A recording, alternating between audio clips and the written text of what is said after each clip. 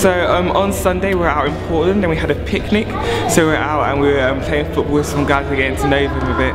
And then um, we went back out to Portland the very next day on Monday and we were with those guys again, we saw them all again. So it was really good, we pretty much spent from like 12 to about 8 o'clock with these guys, just hanging out with them, getting to know them, just um, doing life with them really. It was really great because we like, we really, we got to know some of them, we got to build relationships. So we actually got to like share a bit about who we were and share about what we were doing and why we why we're here in Portland and why why we're um, serving out here as well. So it's really good. And just over today, we're back in Portland again, and we've got guys going out and doing gardening, doing some weeding and stuff, and um, tidying up the general area. We've got guys doing painting and all sorts of stuff. So it's all going on. It's all been really fantastic.